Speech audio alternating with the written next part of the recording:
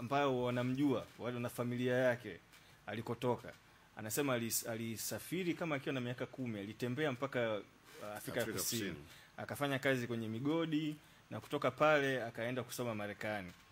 Uh, na kutoka marekani alikuwa ohio akasoma ohio. Akaishia kuwa daktari Uingereza, uh, uingereza na baadaye ghana. Lakini familia yake kule malawi haijulikani you know, miaka yote hiyo hata alivyorudi kuwa rais ndugu wa karibu hana. Ndugu zake ni, ni kama wakushikiza ni, ni, ni, ni ukoo ambao ulishapotoweka kwa hiyo ndugu zake wa karibu ni ndugu wa mbali.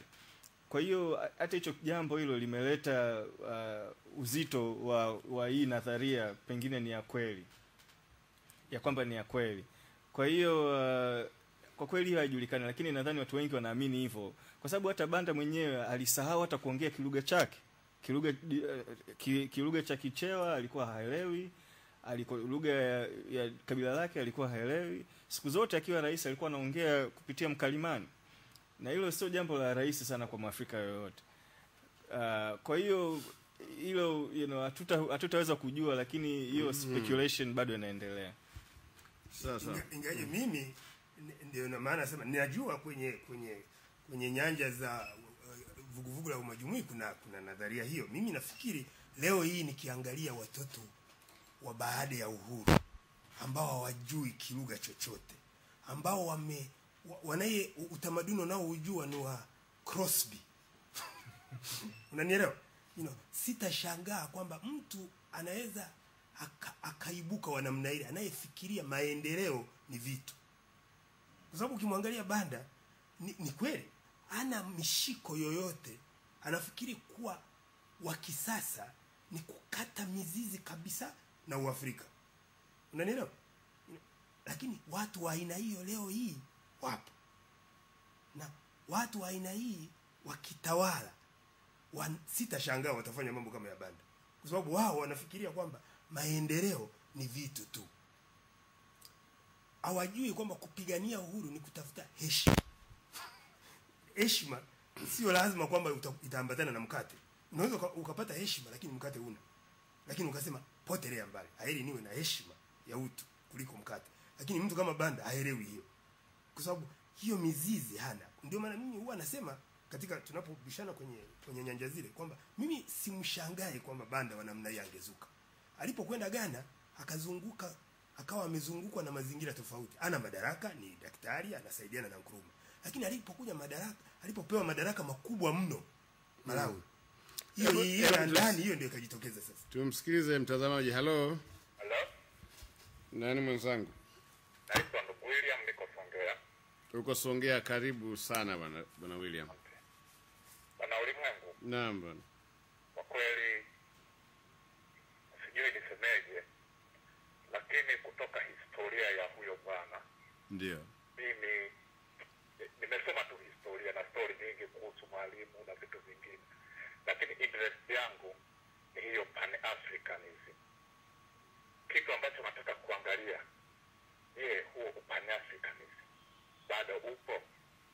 Kwa sababu nataka kuuliza watu wa namna hiyo bado wapo au ni just historia ya huyo bwana ambaye ni changamoto kwetu na kujua kwamba kwa mfano tukichukulia kama Tanzania resources vitu gani na vitu kama hivyo, je, hii cabinet yetu je, inaweza ikawa na msisimuko wa namna hiyo kwa ajili ya kukomboa kama anavyosema dokta hapo?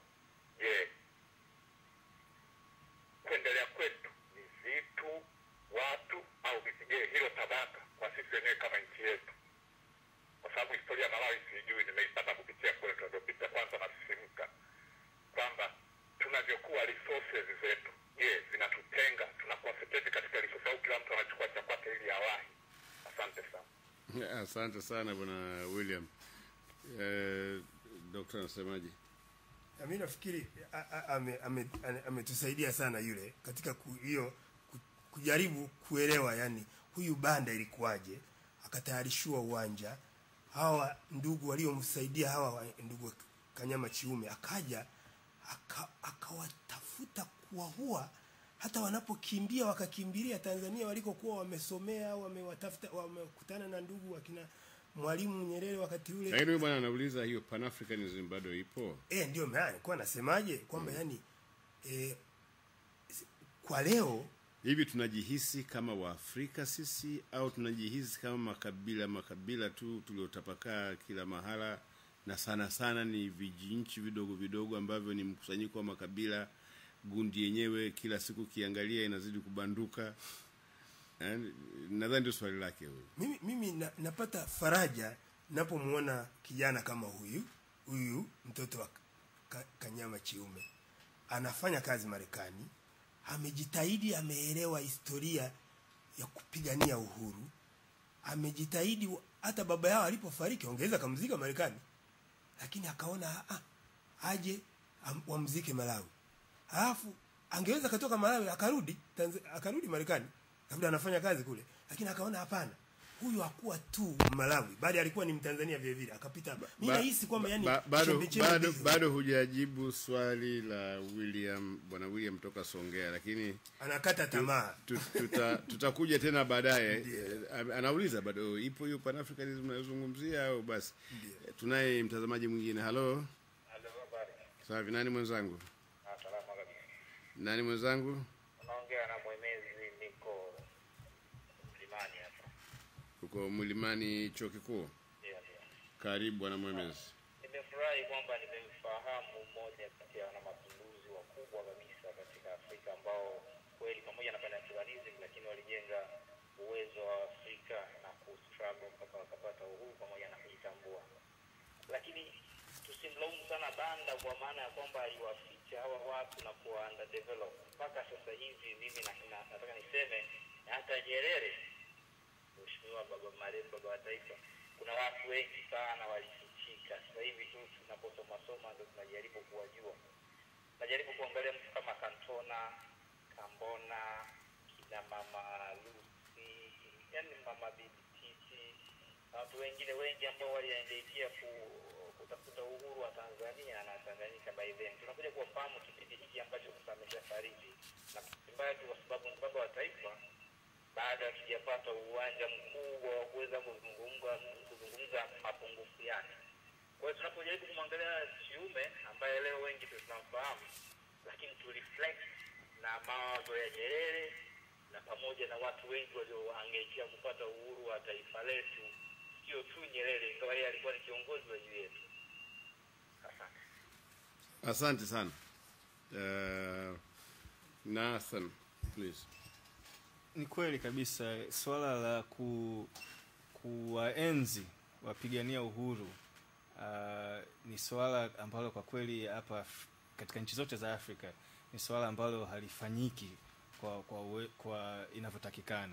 Mara nyingi historia ina, inaandikwa kwa wale tu ambao ni viongozi wa juu na wale wengine wote ambao walileta vuguvugu na walio waliochangia kwa hali na mali huwa wanasahaulika.